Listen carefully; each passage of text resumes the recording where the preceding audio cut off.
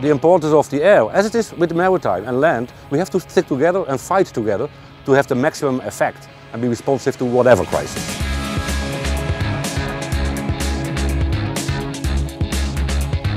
The big advantage of air is it's very fast.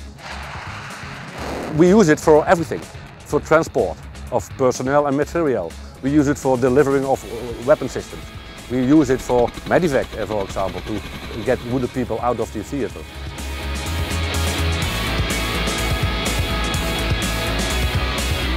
Our role in this whole operation is to manage the, the flow of what goes on in the airspace, ensuring that we're providing security for ground troops to get where they need to go and providing security once they get there for when they're on the battlefield. And that's the integration from, uh, from air to the ground.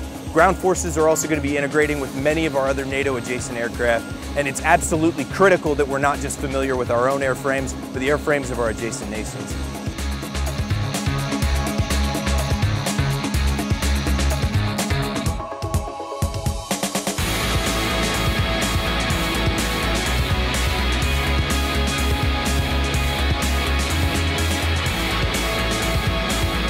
The aircraft present are from Belgium four helicopters, the Czech Republic four helicopters and six fixed wing, from the Ukraine one uh, Ilyushin 76, and of course the Americans with Chinooks, Blackhawks and uh, Apache helicopters. The fact that we even have some non-NATO people present here, like the Ukrainian uh, transport aircraft, means that actually this is an exercise that goes beyond NATO, also with the Partnership for Peace.